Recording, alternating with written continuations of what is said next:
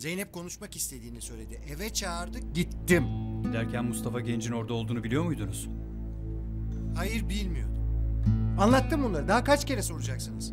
Ama oraya silahla gittiniz. Neden? Ruhsatlı silahım her zaman yanımda taşırım. Dün gece Mustafa Genç'in Halil Tulu ile buluşacağını haber verdiniz. Ve o buluşma yerine gelmedi. Asılsız ihbarda bulundunuz. Emniyet güçlerini yanıltmak için yaptınız. Planınızın bir parçasıydı bu. Ne planı ya? Ne planı? Halil'i korumak içindi. Ne planı? Ama bugün Halil'in can düşmanına yüklü bir para götürürken yakalandınız. Zeynep'i rehin almıştı. Ne yapsaydım yani? Parayı vermeyi kabul etmeseydim de öldürse miydi kızı? Niye polisi aramadınız? Çünkü ben Zeynep'e zarar vereceğinden korktum. Polis işe karışırsa Zeynep'i öldürebilirdi. Engel olmasaydınız kurtaracaktım Zeynep'i. Yine silahlıydınız. Siz buldunuz mu onları? Zeynep'i kurtardınız mı? Tamam, baştan alalım. Bu sabah Zeynep Sönmez'le telefonda konuştunuz. Peki daha sonra ne oldu? Daha kaç kişi burnunu sokacak bu işe? Herkes Mustafa'ya çalışıyor. Herkes. Komiser.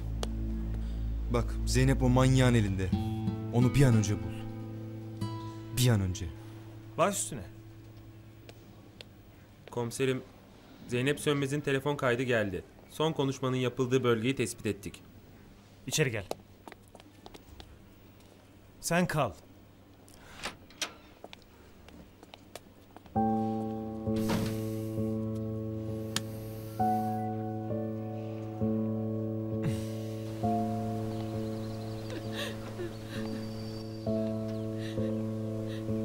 Çöz beni ne olur. Tuvaletim var. E altına ya. Mithat konuşmuştur şimdi. Birazdan bulurlar bizi. Bırak beni ne olur. Ne olur yardım ederim sana.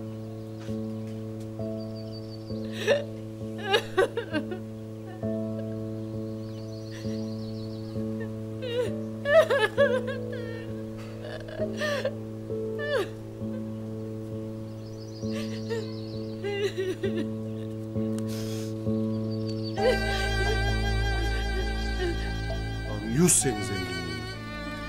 Bu kadarcık mı var yanında? Allah'tan kasadakileri almışız. Yayan kalacakmışız ha. Yakalanacaksın aptal. Şifresi ne bunun? Çöz beni. Çöz öyle git ne olur.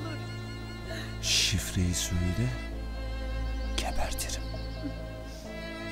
27 23. 27, 23. tamam.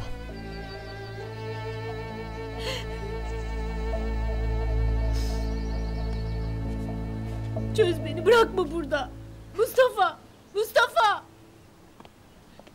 Mustafa! Lütfen!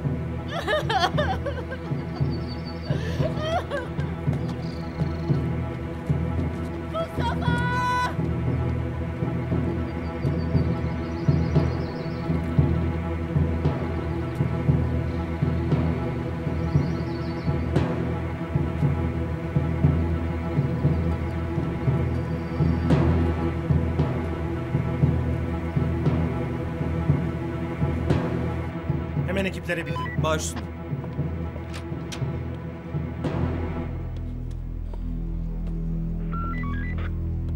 Hiç sorma. Neresi olduğunu söyleyecek değilim. Ekipler bölgeyi tarıyorlar zaten. Durma burada. Hadi. Evine git artık.